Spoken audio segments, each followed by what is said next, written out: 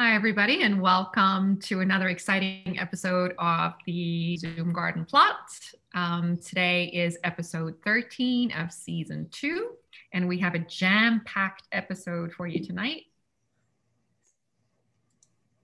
On the agenda are garden updates from Jim. He's not here yet, so if um, his turn comes and we don't have him amongst us, we'll just skip over to the Greenwood Lake Community Garden. We can always I yelled at him. Back to Jim. I said, "You better be here." Thank you, Chad. Um, we have a lot of pictures from uh, Jim, from Greenwood Lake Community Garden, from the community too. Um, there's, as usual, an opportunity for question and answers or just some general discussion, a chance to show what you're harvesting. And then we'll end up, as always, uh, closing with announcements. So um, I don't have access to the participants. If anybody can just take a peek around, tell me if Jim is here. I just texted him, so hopefully, I mean, his his daughter just had a baby, and I I, I talked to him Saturday. I said, "You definitely." If I said I'll show you pictures, but you have to be there, so I don't know. Okay, so I'm just gonna skip through these. Yeah, I guess I'll start. And then we're gonna do the Greenwood Lake Community Garden update. Go ahead, Chad. Want to put more pictures. Well, speaking of Jim, there's Jim, yeah. Jim Hall, right there, and he was great. Uh, you know, things are growing fantastically. I should, probably should have taken more pictures. Added, you know, I know Jim sent like 50 pictures, so I didn't want to send that many. Um, but we built our compost bin, uh, which, which is really great. Uh, the, uh, the pallets, and Jim did it in like 10, 20 minutes. Wow. Wow. He's, he's really uh, quite efficient. He just uh, takes that weird angle and just uh, screws them together. And then we had a beautiful compost bin and everything, you know, we're getting wonderful tomatoes and peppers and all the herbs are coming in. Um, onions are pretty much finished. And it's funny, I'm, I'm, I'm a very anal person. So I didn't, it, Camille had to tell me, I, it's, it's so funny with onions. I really thought you had to do that whole process to eat, eat an onion, but I didn't, I didn't realize that Bill and everyone was telling me that's how you uh, store an onion, like about curing it. so I really didn't realize that you could just literally eat the, you know, the onions are ready. So that, that was funny. I, I was telling everyone, you got to wait 50 days. And Kim was like, no, you could eat your, you could, you could eat the onion. I didn't realize that was just about to prepare an onion for storing. So that's pretty, so now I could enjoy my onions. I thought I had to eat them like two months from now for some reason. I wanted to ask a quick question about your compost bins, Chad. Yes. Do you? It looked like you had the three bin system set up. I'm just going to go back to uh, yeah. that again, so you can all see. The, so the plan is to do what in those three bins? Just talk us through it. Oh yeah. Um, well, I, you know, we've we actually put up a little bit on the bottom of all three, which is not typical, but we had a lot of uh, we, like a lot of sticks we were breaking up. Yeah. So we're trying to clean up the back area. So we feel it's good to have like these sticks in the bottom, kind of drain things out a bit. Mm-hmm. But the idea is, you know, the first bin that Jim is leaning on is you start putting your, you know, your your uh, leaves, your food scraps. You know, you build that pile up to it gets, you know, fairly high. You know, and it, and it heats up, and after a while, when that's cooking, you then, which is the very labor intensive part, you take the pitchfork and then then you know when that's done, you dump it over into the other, the middle one. Mm-hmm. You know, it's the kind of thing where you let everything sit for a few weeks or months, you know, depending on the weather and how big the pile gets. And then, you know, so that, that you know, one, and then once that's done, then, then the first one will be free again. And then the second one's cooking. And then even then, then you're going to turn it over to the third pile. So that, you know, the third pile should really be the finished pile. So, you know, by the time it's in there, it's already, you know, you've turned it a few times just by moving it, you know, so ideally when, you know, everything's going great and we're getting a ton of food scraps, the, the farthest pile from him will be a finished compost you know, the middle one is still kind of cooking, and the first one is what people are, are putting in there. Gotcha. Thank you. So, you know, and and depending on how much you get, that's how fast it goes. You know, the bigger the pile, and the more you know, nice good mix of greens and browns. Greens and browns. I don't know. I said brown. Browns. You you know, you then get it. It heats up more the larger the pile. Gotcha. You know, if you leave a small pile, like if it just stayed like that, that wouldn't really, you know, that you would have to leave that for a very long time to to become anything. I'm, I'm putting yeah. in the I'm putting in the chat. Last November, Jim Hall yeah. did a presentation for us on composting. There's a link to the video, but he talked a lot about the three bin system and all that. Oh, right, and yeah, there's all different. People have all different philosophies, and actually Gus was there. He was like, he doesn't put any food scraps. He just uses coffee grounds and, you know, like nature will, de- everything will eventually turn to soil. It just depends how much you help it out. Mm-hmm. And, you know, mm-hmm. by turning it, you, you aerate it. You know, you want to, you want to add some water, which I don't have to add, worry about adding water to it, I'm sure for a while after yesterday. Um, and you know when the winter comes everything slows down a bit. So yeah that's the that's the philosophy. Gotcha. Okay. chad yes. Um you're actually adding food stra- scraps and where are you getting the food scraps from? I'm curious. Well i mean as it, we, did, we didn't again we just built this on saturday oh, no, I understand that. yeah i mean uh, i don't know i'm going to probably ask the members if they want to bring you know, veg, you know, I'll, I'll make a list of what, you know, what's right. acceptable, what's acceptable. Right. Um, but otherwise just, you know, me and the members, then uh, again, I'm taking it very slow and thanks to uh, Shannon's great suggestion on any email I'm sending out to everyone, I'm calling it a leaf pile. I'm not saying compost pile. Very good. And, then, and, and you know, make, always, I'm going to make sure the food scraps are, you know, always very well covered.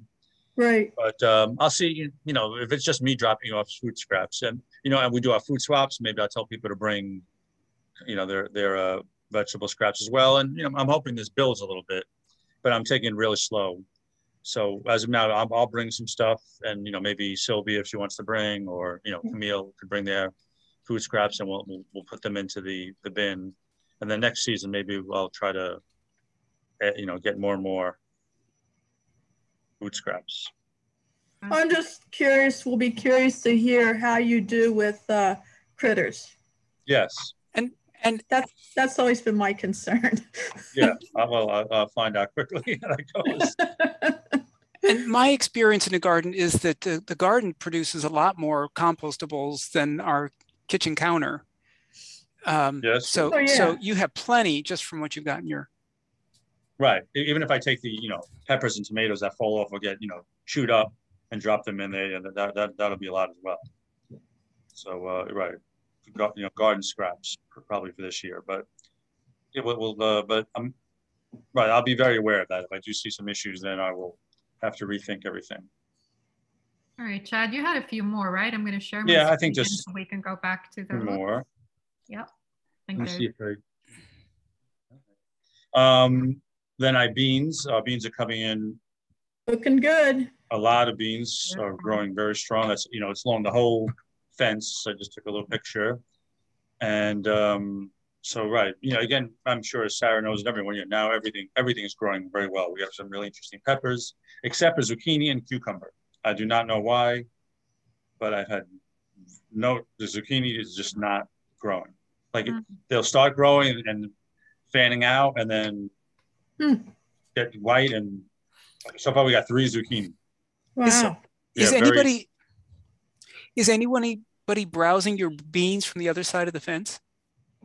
No. Well, we're, we're kind of lucky because right behind that is uh, right next to the garden is like a little bit of a creek bed, like a little runoff water. So there's literally like three feet in between, and there's a fence. So there's like a little runoff creek, a bunch of uh, nat- natural growing weeds, a little pathway, and then our six foot fence. So yeah, I, I'm, I'm sure maybe some critters are getting from the other side, but they, they you know, they, they really have to squeeze in. And then, you know, we put the fence down low. I'm even covering it with a carpet, but they might be getting it from the other side. But so far, it doesn't look like they are. And no, then the, I, think, uh, I don't know about Michael, but we put some pole beans against the exterior fence and the the deer are, are having a nice little snack on the outside. right, like a deer couldn't even fit in that you know that little area. Like you know, I, definitely squirrels and chipmunks and small stuff, but our, our, our little closed off thing is right. You know, a deer would have to really squeeze in. And, you know, I don't think they like the deer that really like that type of thing. Yeah, exactly. So they wouldn't like that. You're, you're safe. yeah, but again, you know, other critters could uh, come along but we have you know everything's going very nicely. And that the other picture is uh, we had a really nice food swap, and thanks to Jim as well, who uh, gave out free seeds because um, he, he has a, a, Home Depot gave him hundreds of seeds, hmm. like incredible. So uh, I guess you know I posted that, so we we had two or three people show up to the food swap, which was nice, and this uh, Deborah brought you know all these tomatoes, giant zucchini, and you know a lot of stuff. So that that's her harvest, and you know I brought a lot of that to the senior center on um, Thursday morning. So Wednesday nights are food, the food swaps where I'm hoping people will bring extra stuff. And these are uh, ground cherries, which are growing very nicely, and I really enjoy the taste of those, and I think they're kind of great looking. And I guess they look very similar to or or the same as gooseberries, right? I don't know. I heard they're not the same, but I think they look similar. They look a lot like tomatillos. That's what I'm thinking. Exactly. Yeah, yeah it's not like tomatillo. Oh, yeah, tomatillos we have growing very nicely. Those are really nice. And I have a lot of those. I'm planning on doing something with the tomatillos because no one wants them, but I'll. I'm not much of a cook, but I'll try to make some type of uh, salsa verde or something. Yeah. Um, how many of those plants did you plant, Chad? Your cake, your gooseberries, or your? Um... No, that's all. Just one little. That, that's about it. That little ground cherry. I, I didn't have a lot of luck. Starting from again, I started a lot of seeds in the uh, peat pots, which I again yeah. wasn't the greatest idea. You know, some of them did grow, but then a lot of them I realized just stay stuck in that same size. Yeah. But that yeah, we, we did have one. Uh, Camille donated that one, and that's growing. But uh, otherwise, uh, tomatillos are nice. Oh yeah, five of those. Those are nice. I have five, so we're getting armloads of those uh, wonderful orange berries. They're just so delightful. And everyone's always like, "What's that?" You know, it's such a it's a nice uh, it's a good thing to show. You know, it's very interesting, and they taste it, and everyone's like, "Whoa!" It's yeah. an interesting taste. Yeah, it's a big crowd pleaser. That's they're an, they're an annual, right? You have to plant them every year. They are. They're not yes. hardy. Mm-hmm. No, I mean the yeah. ground cherries. Yes, the, yeah. yes, ground cherries. Yep, they're not hardy. You have to plant them every year. Uh, and they're also not perennial. Yes, thank you, Chad. All right, I'm going to go back to my presentation. And Jim is not here. So, shall we, um, Chad, mean, do you want to talk through his pictures? Do you know what goes on in there? I just had one question for Chad. Yes. Chad, your tomatillos ready? Yes. They, really? So are mine. Mine are not filling out. They're still puffballs. Wow. I know.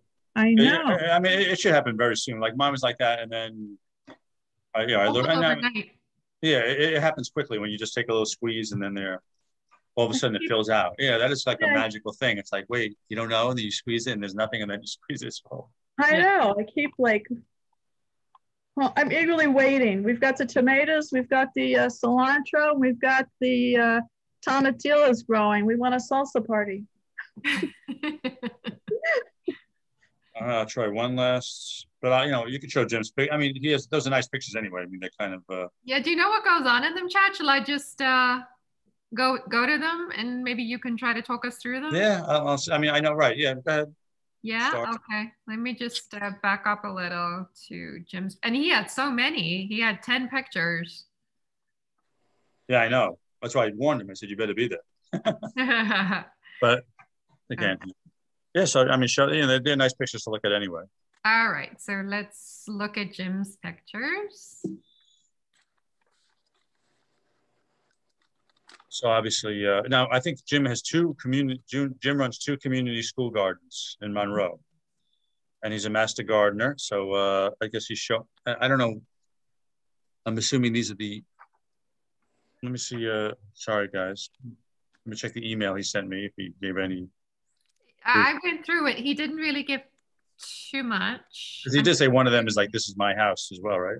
Yeah. So we'll we'll get there, but I'm guessing these are you know. Right. Yeah. I guess this is obviously, and then he's been posting that he's getting you know giant tomatoes. So. Okay, these are the tomatoes on the right. This is his school garden, which again, I seem, I guess it seems like he's running himself now since school is not not on. Right it's funny. A lot of a lot of the a lot of the Sarah and all you guys are really helping me out. Like Jim's been showing up, and uh, Carolyn Adams, the woman who runs the other Greenwood Lake Garden, is showing up. So I guess they know this this is a tough time of year, and they're like helping each other out. She's planted a lot of lettuce, so I have like she planted like forty uh, things of lettuce for me. So I have lettuce coming out. Oh, that's nice. Yeah, she's she's like insanely talented with lettuce. Like she's like lettuce lady. She's constantly growing greens all year.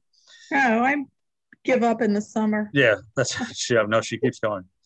Um, so yeah, I'm assuming this is school gardens, and looks. I, I guess he has this funny little scarecrow over there with the uh, the big eyes, but mm-hmm. looks like a lot of. Uh, I can't quite see. I'm old.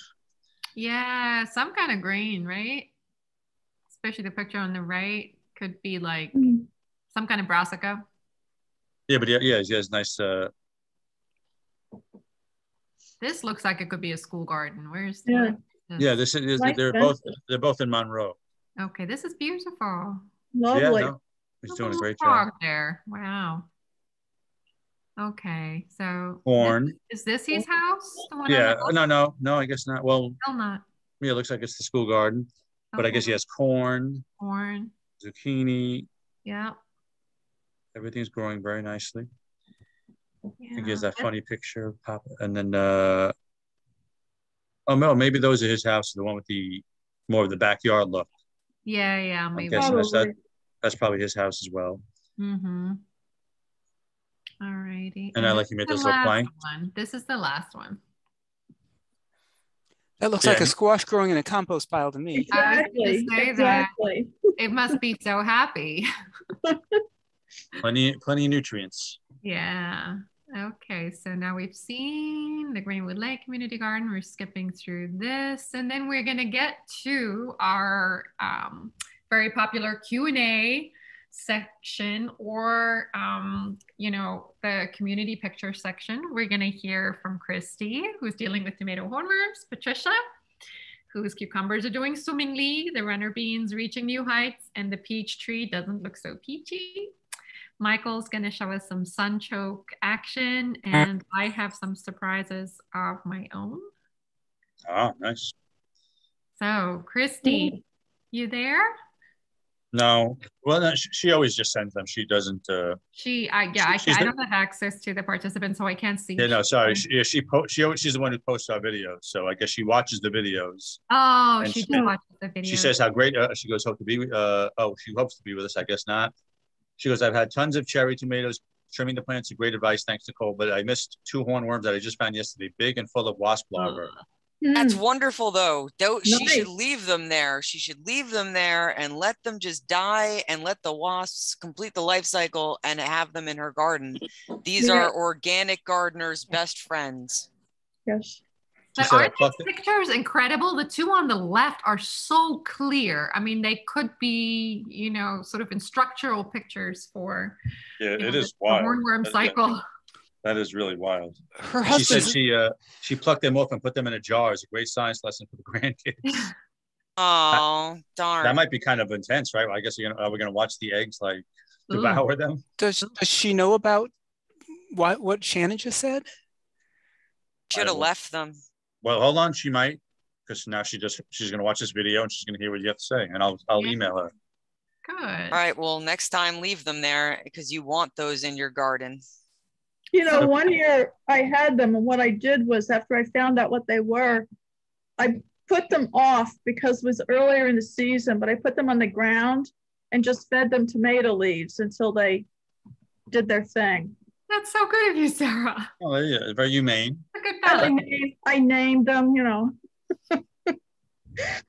her question is: any is there anything she could do to resurrect the two plants? Not many leaves left that aren't yellow and withering. Oh. She trimmed off some of the dead branches while on the worm search, so it looks a lot worse before. I've got suckers that I could try cutting and planting, but is, is it too late for that? So her question is, can she resurrect? Can you go back to the picture? All? I think we were focused on the the, the hornworms, and right. if we could look at the plant again. Okay.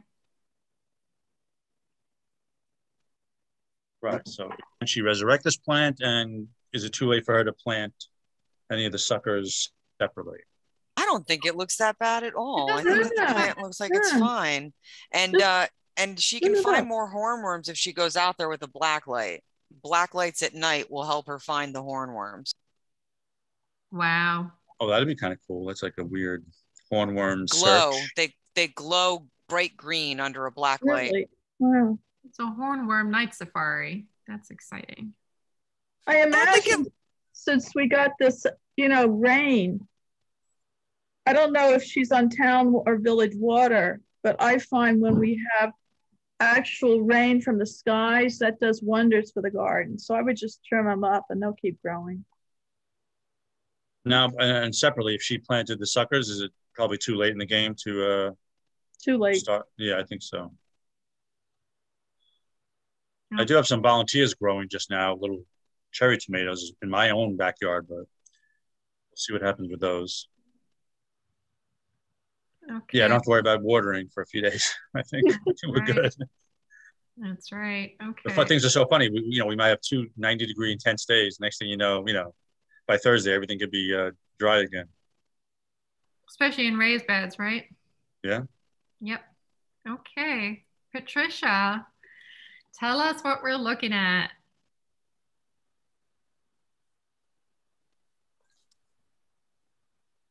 I think those are cucumbers in the left-hand side there. Yes. In a, in a paddling pool. I didn't have any space.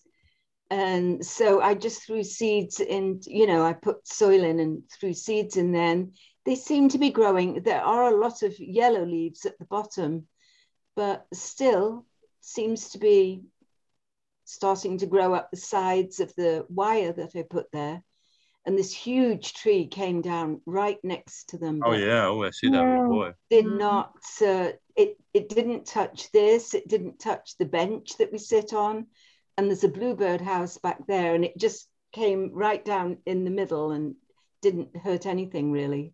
Wow, lucky. So, what, yeah. what, it just came down on its own, or was there yeah. a storm? Oh wow. Yeah. We were away for a couple of weeks, and. Uh, I don't know whether there was a particularly bad storm, but obviously the tree just cracked and came down. It was on an angle, you know. Mm-hmm. So uh, this one, um, these are runner beans, and they're totally like bowed over because uh, I did what um, Bill McCoskey suggested. I like made a frame mm-hmm. and put netting over, but the beans are so heavy, they're dragging the netting down. Mm. But I don't know if you can see that. Those are the two poles, which were really long poles that I put at the end. And um, they've gone way high. I mean, that must be like eight feet. So I realize now I, I should have made the trellis taller and uh, this is my peach tree. The, the peaches have got um, like black spots all over them. And they're not ripe yet, but um, I don't know. You know, they're very blemished, but there are lots of them, as you can see. And I have got so many tomatoes. I'm like turning red eating tomatoes. I mean, I'm, I'm, looking. Some of those peaches look pretty good. They look good. I think they're going to still ripen. I mean, the, the, black spots. I have some of those as well in mine. I don't know. I'm assuming those aren't going to be good, but I, but from that picture, I see the I see a lot of smooth looking peaches that probably just need to ripen still. Yeah. My peach tree is like really bending very severely. I don't know. It's not strong enough. It's, it's scary looking, but I, I think a lot of those. You, I think you still get a lot of peaches out of that that bunch. And I'm not, I don't, I'm not a fruit tree expert, but I, I might just pick off some of the ones that look really, you know, intensely, you know, a lot of black spots and maybe stuff oozing out. Uh, according to according to Google, it's something called peach scab, and it's a fungus that occurs uh, with warm, humid climate. Oh, we've had that. Yeah. Patricia, as far as your issue with turning red from eating so many tomatoes, maybe next year you could pick a sort of a golden variety and then you could over tomato but not turn red. Wouldn't that be great? also, you know, I learned from Mary Makovsky, you can um, like rinse a tomato and like put them in the freezer if you have, and and and then just yeah, and then just get them out, yeah. and they're and they're really nice for soup in the middle of the winter. Oh yeah. Oh, so if you want some extra for that, and then of course you can always make good friends with the neighbors uh, yeah. if you really have too many. Yeah, yeah. Give them away. but, but, my strongest suggestion is definitely get some golden tomatoes and and then and the color won't you know, you won't have that problem going red from eating too many. Good idea. Do you make do you like make sauces and, and things like that with the tomatoes or? Uh... I just eat them raw because I do really love tomatoes. All right, so I can see it's affected it's affected your hair and everything. Yes. Well, you know, Patricia, they really are. If you have large ones, I blanch them. But I mean, they freeze. It's really easy to freeze them. It's great to have them in the middle of winter.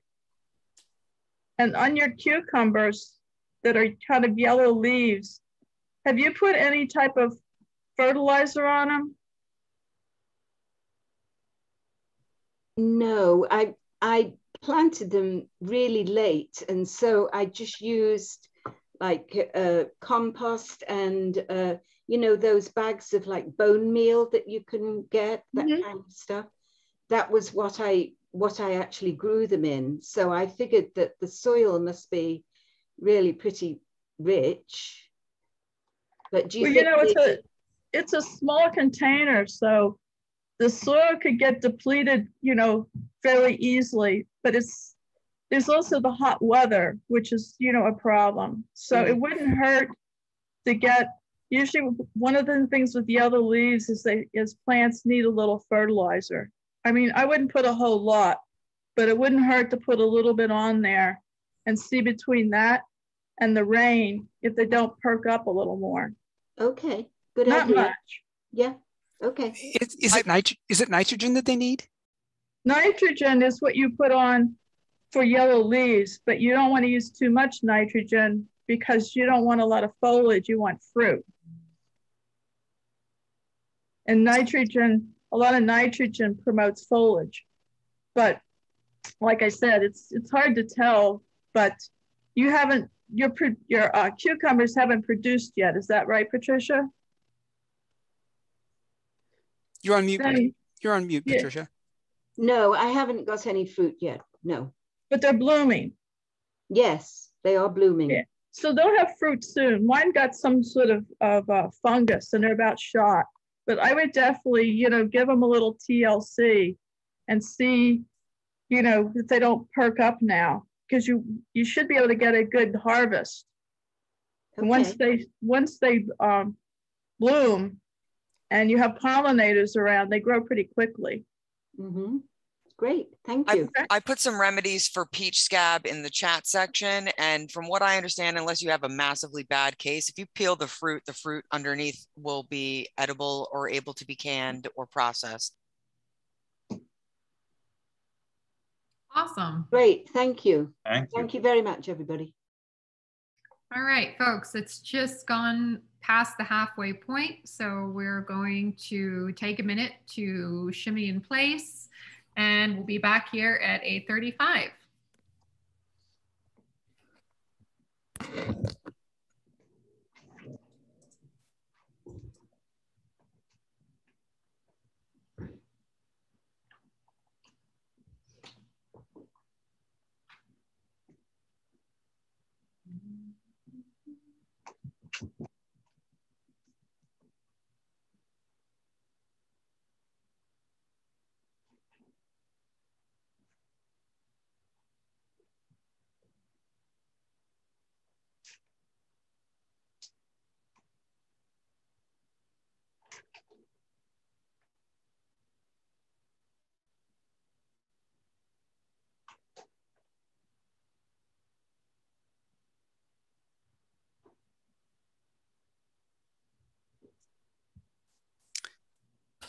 And during the shimmy in place break, we leave the video running, hoping that the people watching at home will also do their shimmy in place.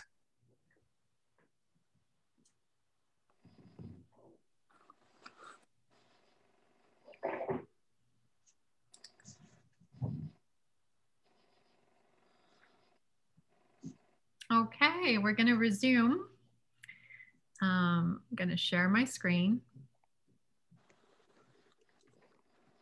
Michael, this is yours. Go ahead and tell us what we're looking at here. So, okay, I, I think it's better to look at the picture on the right. And I want to explain that we have this big um, dirt pile from when they built uh, the pavilion in our backyard. And my wife and I sometimes refer to the dirt pile as Shea Stadium because, you know, the Mets are famous because there's always next year, right? And so the goal of the of the um, of this is to uh, the dirt pile is to sort of develop the soil and leave it um, you know covered and and and maybe a little bit wet and and and to, to, to help the soil get a little bit nicer and richer before I start using it for other projects. So looking in that picture on the right, I found those old rotting logs out in the forest and I thought, oh, I can I can sort of make a little bit of a border here and I can pile some dirt in there. And I actually was growing potatoes in there. And then when I was growing potatoes, you can see on the right, there's that sunchoke that started growing in the middle of my potatoes. And I just thought it was fascinating to see the runners coming off those sunchokes and the, the little teeny tiny immature sunchoke uh, that would be presumably would ripen by um, by the end of the year. I just when I saw that I thought, oh, that's just a fascinating picture, and I just wanted to share it. It is fascinating. I had no idea that they look like that under the ground. Yeah, it is good when you see what Oops. happens. Sorry. What the stuff we can't see. Yeah, and they are really, they really produce runners. And and and while I've got the floor, I just want to share a small story about my negotiations with a groundhog. So, so negotiations. yeah. So, um, many of you have visited our house. Inside our deer fence, we've got a woodshed. And now outside the deer fence, we've got a tool shed. And for years, ever since before we moved in, the woodchucks, the groundhogs have had burrows underneath the tool shed outside uh, the deer fence. I had never seen a groundhog come inside until a couple weeks ago, or since we've had the last Zoom garden plot. And then I noticed this guy sitting out, and then when we did anything to disturb him, he would run back under one of the wood one of the pallets in the woodshed. Okay, well, I got it. I got a trap, which the, the those I observed this guy. He's really smart. He just ignored the the Havahart mm-hmm. trap that we got. uh, and so then, uh, well, next step: take all the wood off the pallet, move the pallet, and look at his burrow, which is a lot different because you know if he he builds his burrow in a really protected place. So we got it off, and and um, and then I would do things like I would leave a couple sticks on top of the burrow. So if he was coming and going, it was easy for him to move the sticks, but he was basically letting me know he was coming and going. And when he saw his one thing was exposed, he basically started digging under a different pallet. Well, one day I saw him out in the yard and um, I went outside and he ran under the pallet where he was digging a new hole and I was all set. I went over to the burrow that was exposed. And the first thing I did was I ran a garden hose down to see how far it went, and also to see if there was maybe another groundhog down there. Uh, the hose went down about five and a half feet. I'm not sure if it got to the end of the burrow or if there was a curve in the burrow that the hose didn't make, but it was a well dug burrow. Uh, and then, because I believe there was no groundhogs down there, I started filling it in and I put some stones in. And of course, there was plenty of extra dirt around that the groundhog had thrown up under the under the pallets. And so I filled it in and I covered it with chicken wire. Yeah, chicken wire. Well, later that afternoon, I saw him studying how I redesigned his old burrow. He's a smart feller. He really is. And, and the, I did one other thing, and this was based on what Leslie had said in an earlier Zoom garden plot. And that was um, I also got a, some mothballs and I stacked out on top of the wood pile where he under which he was starting to dig a new thing. It's not exactly like putting it down in his burrow, but it's close enough to irritate a person. I'm pretty sure he figured out that I would move that other wood pallet and and put chicken wire over his other one, and it was just gonna be too much trouble. Uh, so he has left the deer fence area. I have not seen him back inside or signs of him. I did the first day um, I put that in and I'd see him. I saw one woodchuck. I'm not sure if it's the same one. I'd always seen them sometimes, like from my bedroom window, I could see them out by the tool shed. Um, and but this particular time, it's like he'd gone straight from that toward my bedroom window, and he looked at me, and then he made a beeline for his burrow, and I haven't seen him since. So that's how my negotiations are going. The case isn't closed. There may be future developments, and if there are, we'll let you know. But this is the state of our negotiations at the moment. I am happy to report. Sounds more like a television series or an adventure more than a negotiation. it's it's a subplot in the next exciting episode of the Zoom exactly, Garden Plot. Yeah. We're definitely going to need an update on that one. He's a smart guy. They they well, all are. They all are. And and Michael, do you have access to a dog? Gosh, um, my neighbor has a dog. Well, in my uh, the groundhogs we had in the community garden were much more uh, aggressive than yours. We won't even get to how many things we did to try to make him move until we, you know, finally did the ultimate move. But I have them under my sheds, and I save up uh, dog poop in plastic bags, and then I shove dog poop in plastic bags down the holes, and that's oh. and that that seems to um, encourage them to move on. It's not a hundred percent, but it, it it does. And I have dogs, so of course I have you know a supply of material. That's a that's a very strong negotiation. Yeah, that's dedication. well, you know, in the winter, you you save up a lot of it because you know it keeps nicely outside frozen, and in the spring he's not around, and I go to the spots and I just cram it in there. and then put a rock over it. The thing is, living under the tool shed, they have never particularly bothered me. That's interesting. Uh, um, um, and if I, I, would want would not want to drive them out of the tool shed and get them start to, to, looking for new places, like maybe inside the deer fence. So I don't know if he stays there. That's yeah. that's yeah. fine. But interesting. Does he have offspring, Michael? Do you know? You know, I um, I've always just sort of seen one groundhog at a time. I haven't seen a whole family. Um, but there, and when Shannon visited me, we found something that was like way down at the other end of the yard. There was another one. So I, I don't know how many groundhogs are in the neighborhood. Mm, interesting. I always found with groundhogs that once they start developing families, mm-hmm. brood one, brood 2 mm-hmm. that you know, the yeah. offspring need their own homes, but they want to stay fairly close to mom and dad. So before you know it, you have quite a few burrows. And yeah, I don't know, Sarah, your idea does sound, I mean, it sounds doable and not as bad as some of the solutions. I wasn't, I wasn't sure how this groundhog got in my, in my deer fence. Um, and apparently he can go in and out, out of the deer fence at will. And I'm not sure how that, you know, I don't think he has a go something that goes underneath. Um, but I once heard Bill talking about a, a, a, a, juvenile groundhog that climbed. They climb. And I guess he thought that uh, the adult groundhogs or maybe were, were a little bit too chubby or something to do the climbing, but the juvenile ones can. Mm-hmm. So maybe this was one who was trying to move out of the nest, mm-hmm. and uh, and uh, maybe.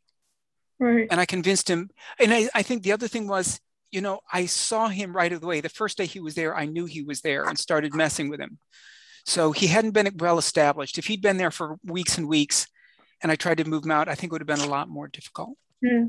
yeah. Well, I found the older ones to be quite nasty. I had one in my yard when I had a dog that, that didn't have any prey drive. And I would go, you know, tell it to leave. And it would like like come at me hissing. yes. Now I have a dog with prey drive and she keeps them wherever they are. She's not big enough to kill them, but she keeps the critters back where they belong on the other side of the deer fence. They have little exits. yeah. Yeah. I do recommend chicken wire for a good if you, idea. If you need to close up a yeah. Okay. All right everyone. I'm gonna, um, that was interesting, Michael. So yes, we will definitely want to hear more next time. Yes, groundhogs are always interesting. yeah. So I'm going to share my screen again. We're going to go into the last leg of the presentation. Oh, this is mine. what you see on the left there are also very handsome Cooper, um, but yes. a handful of shade grown tomatoes. Mm. This is my surprise. Um, I did not know that tomatoes grow in relative shade. We're talking max two, two and a half hours of sun, literally a small spot of morning sun. and this is the beginnings of the tomatoes. There are a lot more that are beginning to ripen. I was completely flabbergasted. I did Google it. Apparently, it's it's a thing. It can be done, and you're talking mainly about the cherry varieties and the and the I think the vining types. Yeah. Um, and then the other thing I wanted to share so it took me a while to get over that because I always associate tomato sun, tomato sun. You can't ever do it in shade. I was lamenting for years that I would never have tomatoes, but as you may or may not know, here on my property, I have a lot of shade, hardly any sun, but this was a happy accident. On the right are some mini cucumbers. They are literally the size of, gosh, maybe my thumbnail. They look wow. like cucamelons. Are they cucamelons? I, I can't remember exactly what they're called, but yeah, they are yes. they are tiny, tiny, tiny, and I plan to pickle them, and they're gonna make nice garnishes for cocktails. They're mm-hmm. cucamelons, and they're adorable. Yes. they are right. Yeah, those are like almost like ground cherries, the same type of That's thing. Right. Like, in, yeah. Interesting, like combination and and very uh interesting. Are those gherkin? Is that the same thing as a gherkin, or gher- gherkins different, right? So they're gherkins are different, I think. They're different. Yeah, they're different. These look like when you look at them up close, they look like little baby watermelons. Yeah. Just, chubby. Just but they they taste like a little cucumber, right? Almost like a little. They do. Uh huh. Uh huh. And again, pr- prolific, prolific. This is the first handful, and we go in the garden and we're just getting buckets full of this stuff. Okay. So when I visited Nicole's garden last year, uh, she's not on the call tonight. Usually she's here, but I visited Nicole's garden. She was growing cucamelons. They were everywhere, and she gave me some, and um, I took them home and I saved the seeds. Yeah, me too. I haven't grown them yet. yeah, I've tried. I haven't had luck, but I, I found them very durable, and I saw I... them. Uh, Go ahead. Okay. Yeah, I was just going to say, I forgot that I'd started a bunch from seed. I didn't label them. Reminder to self always label your seed trays. And so I just threw them in a bed. And before I knew it, they had overrun the bed, overrun every vertical surface, any plant near it. But um, they have made up for that annoying quality by rewarding me with these really delightful little cucamelons. So they're forgiven. Go ahead, Ted. Did you want to say something else about them? I don't know and uh and the, the shade tomatoes look wonderful. And you know it shows you whenever you think there's a rule then it doesn't mean that there's a rule. That you know things sometimes grow when they're not supposed to and they don't grow you know just just things happen. But they look really nice those tomatoes. Yeah and they taste pretty good. They taste pretty good. And apparently um you know they need heat and um, they need the nutrients but they don't apparently need as much light as i as i thought for them to set and then ripen the fruit. Right. Last right. year last year i showed a picture a friend of mine and sarah doesn't like this method but still a, a, friend of mine and he sent me a text picture a text message maybe a week or two ago. He harvested a whole table full of green tomatoes. And he says that um, if he left them on the vine, he'd lose a percentage of them to critters and other issues. So, so that basically by doing this, you know, I probably he'll use them for canning. I believe he leaves a few on the vine so that he can eat some that are, you know, just really fresh. But he, he basically pre-harvests a lot of green tomatoes just so, so he has all that volume of food that he can can and stuff and maybe that would be a way that you could you do tomatoes you know just get them big and green and then mm-hmm. bring them inside and let them you color up that that way. Yeah yeah and i i heard from a farmer at a farmer's market i think i may have mentioned it in a previous um, zoom garden plot that if you leave a little stem on the tomato it's more likely to to ripen on the countertop. Also something i did not know. That's interesting. I'd actually like to test that theory. Yeah yeah I have a bunch of them on chunks of vine sitting on my countertop right now, so I can test that.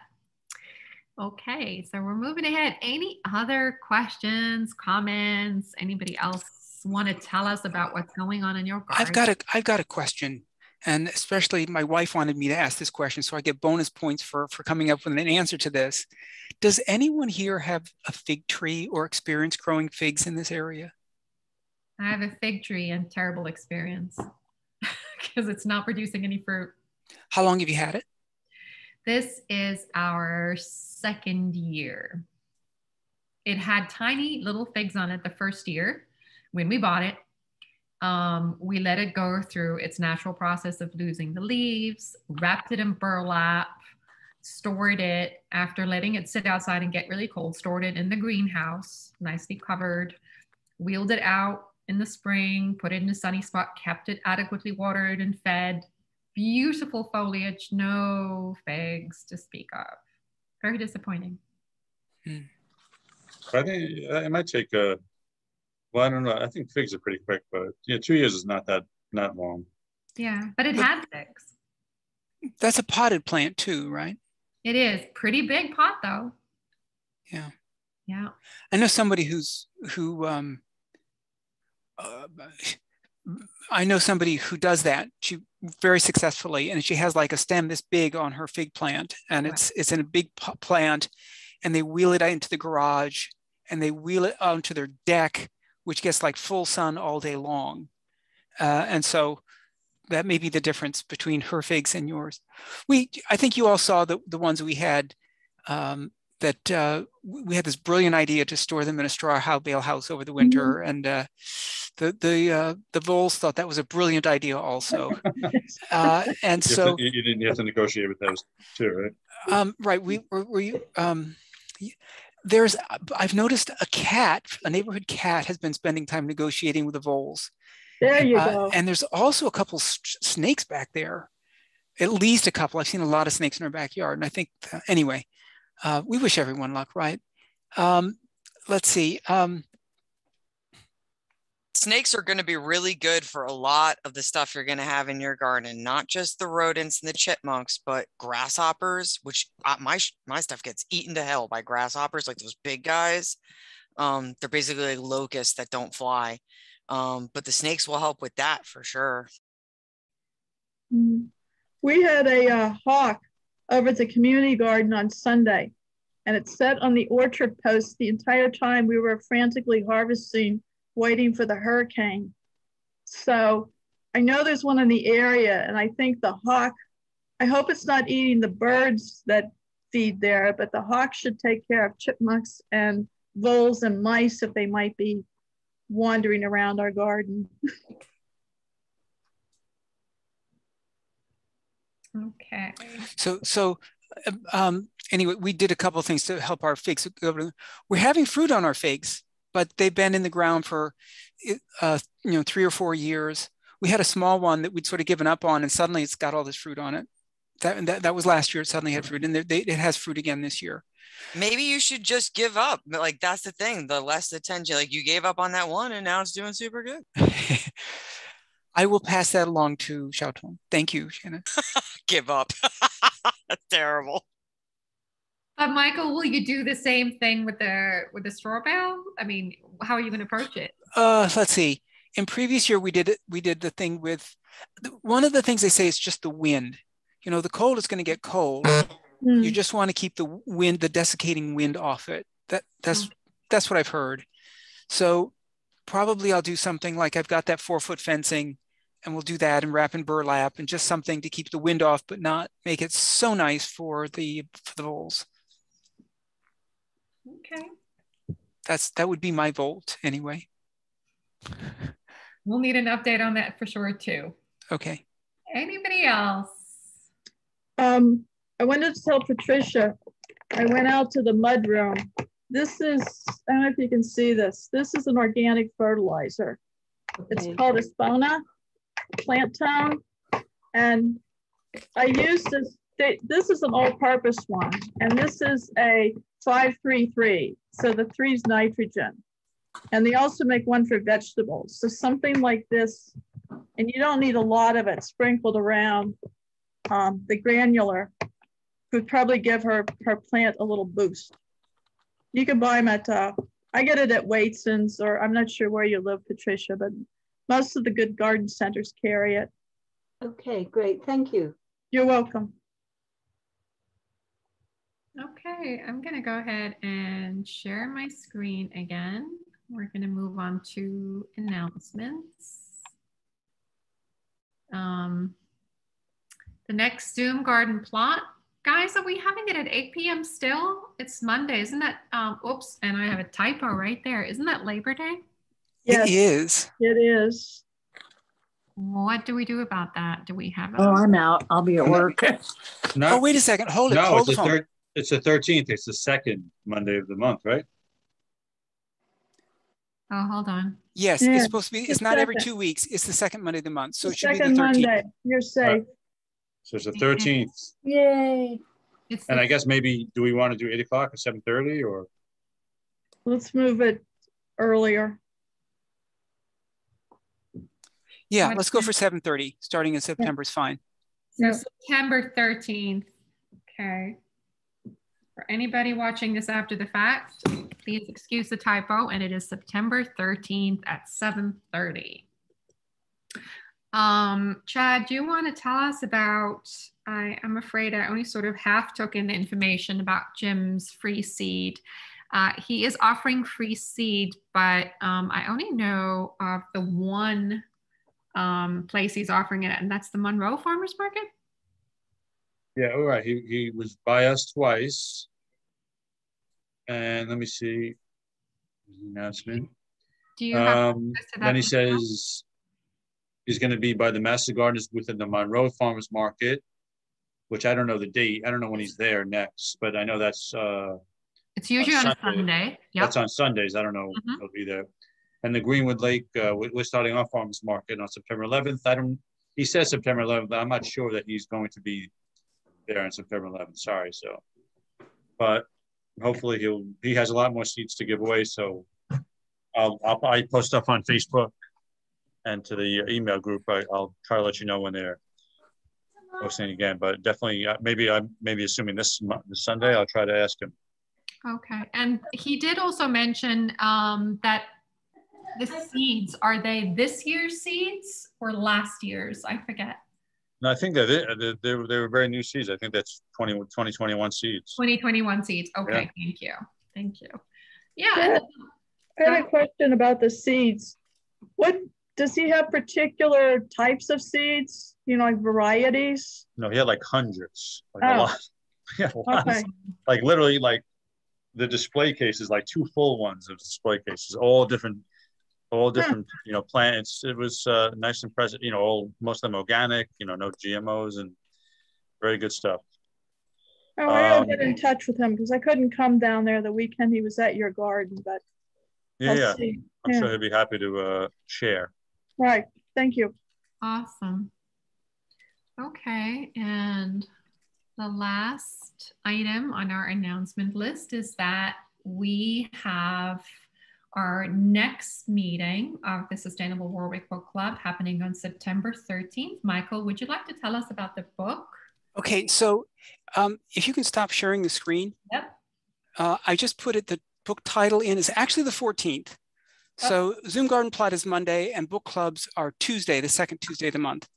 And I put the title and the author in Nature's Best Hope, a new approach to conservation that starts in your yard. Here's a copy of what the book like look, looks like apparently Doug Tallamy is uh, is uh, is well known in the field of trying to get people into doing gardening and doing things with their yards and so forth.